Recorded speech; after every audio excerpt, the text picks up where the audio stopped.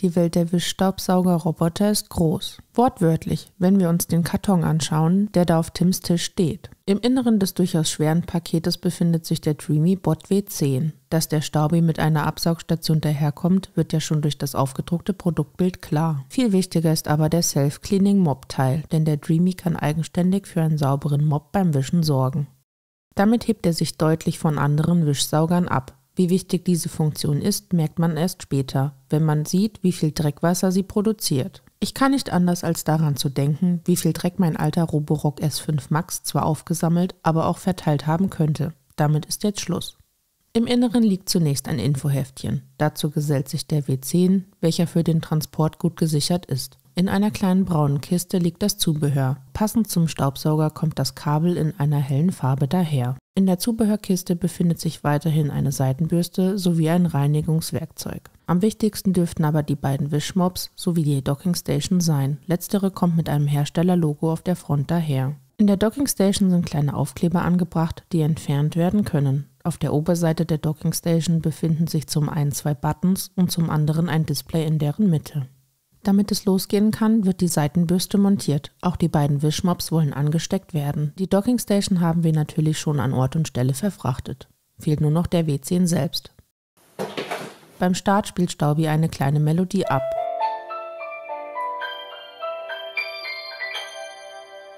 Im Anschluss wird zum ersten Mal das neue Zuhause aufgesucht.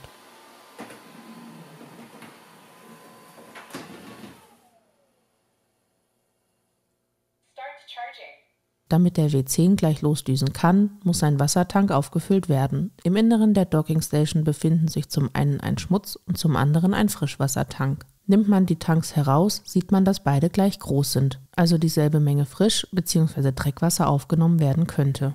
Wir kümmern uns jetzt erstmal um das frische Wasser und lassen den Behälter volllaufen. Hierfür hat der W10 eine Max-Markierung, damit man den Wassertank nicht überfüllt. Insgesamt fassen die beiden Behälter jeweils bis zu 4 Liter. Der volle Frischwassertank wird nun zurück in die Dockingstation gehievt und der Deckel verschlossen. Das war's an Vorarbeit. Der W10 ist einsatzbereit. Der W10 wird über die Xiaomi Home App eingerichtet. Diese ist kostenlos im Play und App Store verfügbar. Damit man Staubsauger und App verbinden kann, muss dieser standardgemäß zurückgesetzt werden. Über die App werden die WLAN-Daten an den Staubsauger übermittelt und eine Verbindung wird hergestellt. Im Zuge der Einrichtung kann man der App sagen, wo Staubi steht. Bei uns verweilt der W10 im Gästezimmer. Theoretisch kann man dem Roboter noch einen eigenen Namen geben. Wir belassen es mal bei W10. Im Anschluss legt man fest, ob der W10 in Xiaomi Home vorne angezeigt wird und ob man die Kontrolle über Staubi auch weiteren Menschen erlauben möchte. Das ist bei uns nicht nötig. Nötig ist hingegen das Zustimmen zu den AGB, was wir wie wohl die meisten Menschen bejahen, ohne sie jemals gelesen zu haben. Die Dreamy App gibt anschließend Hinweise, wie man das eigene Zuhause vorbereiten soll, bevor sich der Roboter ans Werk macht. Auch zur Position der Dockingstation gibt es eine ansehnliche Grafik, die wir aber vollkommen ignoriert haben. Den Do Not Disturb Modus schalten wir aus. Schließlich bekommt der W10 einen Reinigungsplan für Zeiten, in denen weder Tim noch ich zu Hause sind. An diese Ersteinrichtung schließt sich ein Firmware Update an. Das wollen wir natürlich direkt ausführen. Nach knapp 1,5 Minuten ist das Update durch und Staubi auf dem neuesten Stand. Nun sollte es natürlich an Staubis erste Fahrt gehen. Unser W10 fährt mit folgenden Einstellungen. Die Saugleistung steht auf Turbo und der Wischer auf Nass. Los konnte es gehen. Wir springen jetzt aber direkt zum Ende dieser ersten Fahrt. Durch gute Erfahrungen mit dem letzten Dreamy fuhr der W10 ohne, dass wir im Hause waren. Völlig neu war für uns allerdings, dass die Dockingstation des W10 die beiden Wischmops nach der Reinigung trocknet. Ich weiß jetzt schon, welches Feature ein Roborock S8 Max V Ultra nächstes Jahr spendiert bekommen sollte. Allerdings, das Feature ist durchaus laut. Man stellt den W10 also garantiert nicht in die Küche oder ins Wohn- oder Schlafzimmer. Wie man auf dem Display sieht, durchläuft die Trocknung vier Phasen. Staubi ist somit über eine längere Zeit zu vernehmen. Ist das farbige Display aus, kann man es über einen Druck auf die Home-Taste wieder aktivieren. Die Anzeige auf besagtem Display muss nicht Englisch sein. Über die Settings kann man die Roboterstimme sowie die Displaysprache auf Deutsch stellen. In den Settings kann man noch einige weitere Einstellungen vornehmen, wie etwa den Turbo-Modus. Über die App informiert Staubi auch über jeden Schritt der Reinigung, vom geplanten Start bis hin zu möglichen Problemen oder dem Ende der Reinigung. Habt ihr gewischt, muss im Anschluss der Dreckwassertank ausgeleert werden. Das sollte man recht schnell machen, also wenn man beispielsweise abends nach Hause kommt. Vorhin war der Wassertank ja komplett gefüllt. Auf Stufe nass Wie vorhin beschrieben, verbraucht der W10 etwa ein Drittel des Wassertanks. Die Dockingstation des W10 verstummt, sobald die beiden Wischmops getrocknet sind. Das Display hat aber auch eine weitere Funktion. Über jenes wird der aktuelle Akkustand angezeigt. In meinen Augen weiß man erst, was man an einem Display auf der Dockingstation hat, wenn man es erstmal in Aktion gesehen hat. Staubi lädt also und bereitet sich so auf den nächsten Einsatz vor. Das Display ist während dem Ladevorgang nicht dauerhaft eingeschaltet. Wird Staubis Wassertank gefüllt, klingt es in etwa wie bei einer Kaffeemaschine.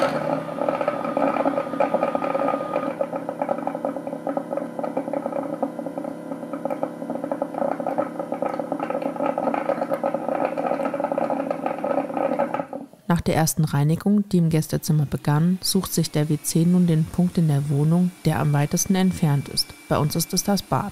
Der Grund hierfür ist ganz klar. Der W10 sucht sich einen Punkt, von dem aus er sich streckentechnisch langfristig seiner Dockingstation nähert. Wenn es dann an die Selbstreinigung des Mops, die bei uns alle 15 Quadratmeter erfolgt, geht, muss er stetig weniger statt mehr Strecke hin und her fahren. Je nachdem, wie groß eure Wohnung ist und welche Einstellungen ihr vorgenommen habt, erfolgt die Reinigung der zwei Wischmops öfter oder seltener.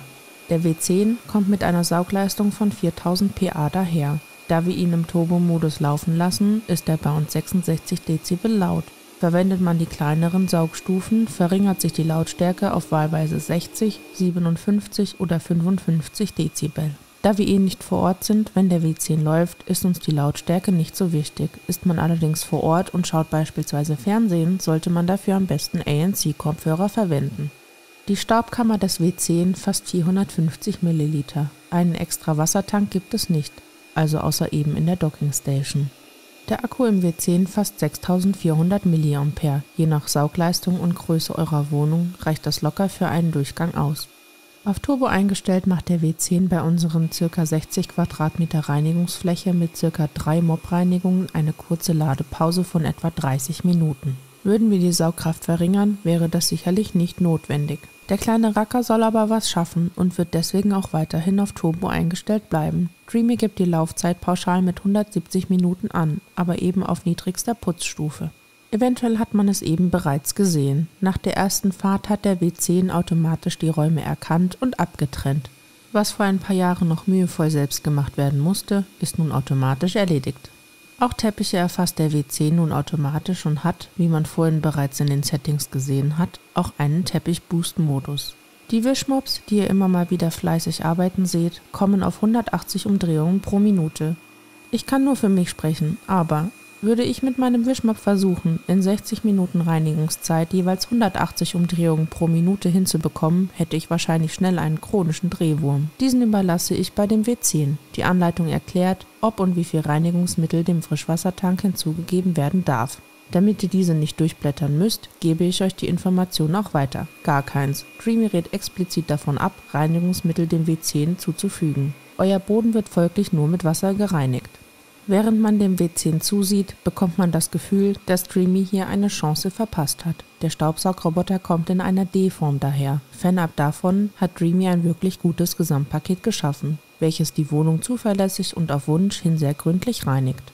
Für die Orientierung im Raum gibt es wie so oft bei der Geräteklasse einen Laserabstandssensor. Selten bis nie wirkt der W10 verloren. Angst um eure Lampen und kostbaren Gegenstände müsst ihr nicht haben. Bisher hat der kleine Kerl bei uns noch nichts in den Tod gerissen. Kontaktsensoren sowie Absturzsensoren auf der Unterseite sorgen für eine sichere Fahrt. Wir haben ja schon den ein oder anderen Schmutzwassertank gesäubert und zwar produziert der W10 wirklich viel Schmutzwasser, allerdings finden sich im Inneren des Tanks wenig eklige Abfälle, da diese zuvor in den Staubtank wandern. Insgesamt sind wir mit dem Saug- und Wischergebnis sehr zufrieden. Da wir ihn dreimal die Woche fahren lassen, kommt es bei uns nie zu groben Verschmutzungen, sodass er bei uns alles in allem eigentlich nie an irgendwelchen Rückständen auf dem Boden gescheitert ist. Da die beiden Wischmops kräftig Druck auf den Boden ausüben, können auch festere Schmutzreste entfernt werden. Dazu zählt beispielsweise ein Ketchupfleck vom Mittagessen, das ein paar Stunden zurückliegt. Wer den Wischmopp noch feuchter haben will, kann auch einstellen, dass der W10 alle 5 oder 10 Quadratmeter zur Dockingstation zurückkehrt. Auch wenn der W10 recht flach ist, unter unserer Couch haben wir Sperrzonen eingerichtet. Andernfalls besteht die Gefahr, dass er sich dort verklemmt. Ist der W10 wieder in seiner Station angekommen, wird der Wischmopp bei 40 Grad warmer Luft getrocknet. Zugegebenermaßen. Vor der Anschaffung des W10 hatten wir uns wohl nicht genau informiert und waren erstmal überrascht, was hier Geräusche macht.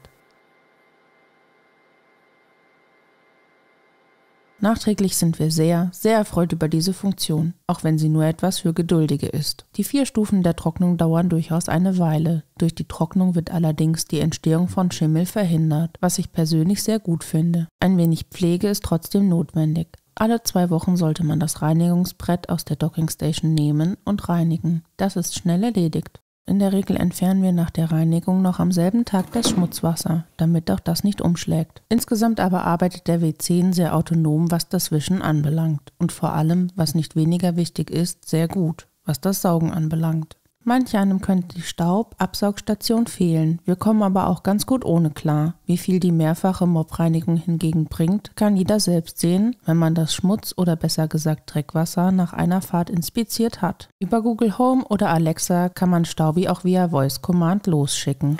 Der Dreamy V10 ist aktuell auf Amazon für 1099,99 verfügbar. Allerdings kann man an der Kasse einen 170 Euro Gutschein einlösen. Ihr habt noch Fragen zum Dreamy V10? Dann ab damit in die Kommentare. Mein Name ist Sarah Elisa Oley für die Nerdbench.